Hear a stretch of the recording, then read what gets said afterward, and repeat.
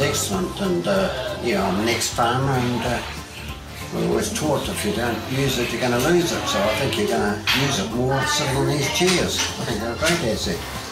I've been here twice this year, and I couldn't wish for better. The staff has been so helpful and obliging. At the time, you kind of go in. We've been into that ward, that uh, downstairs ward, um, and you usually put into bed. And uh, maybe a few hours later, you might see a doctor. Um, Tell us about um, recently. How's your experience been? thinking at the time, Jesus' service, because it, it was so great.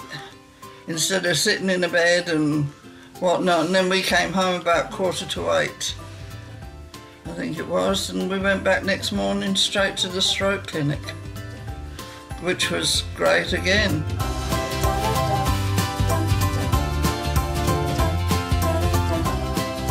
where everyone works as a team and for pharmacy we all work together and the nurses and doctors help to identify who we should be seeing to get patients seen quickly. The red chair has really made a difference.